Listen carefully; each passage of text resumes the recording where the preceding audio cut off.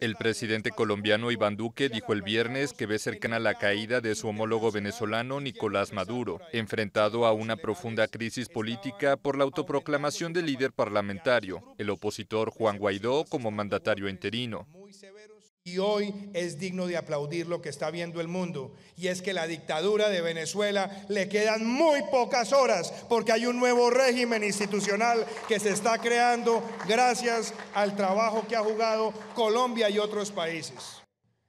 Colombia y otros gobiernos aliados de Estados Unidos desconocen el segundo mandato de Maduro por considerar fraudulenta su elección y dieron su reconocimiento a Guaidó, sin mencionar directamente a México o a Uruguay, que propusieron un diálogo entre gobierno y oposición, Duque llamó a más países a unirse a la presión contra Maduro hasta que se convoquen elecciones. Yo espero que en los próximos días el cerco diplomático continúe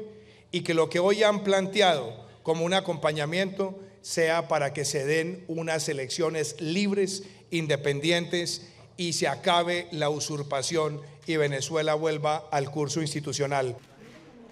Maduro, quien mantiene el respaldo de las Fuerzas Armadas, denuncia un golpe de Estado en el que Washington usa de títere a Guaidó y asegura contar con el apoyo de China y Rusia para impedir los planes de Estados Unidos, que según el chavismo buscan apropiarse de las mayores reservas de crudo del planeta.